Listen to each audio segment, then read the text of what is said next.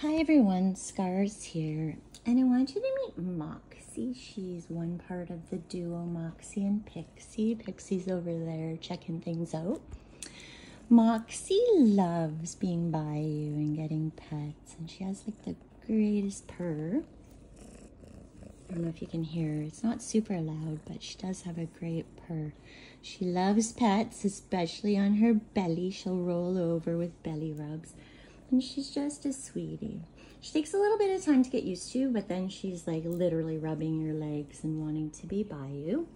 Um, her sister Pixie is a lot more cautious. So I've had her for about two months and she'll come up and smell my hand, but she's still not super comfortable being around people.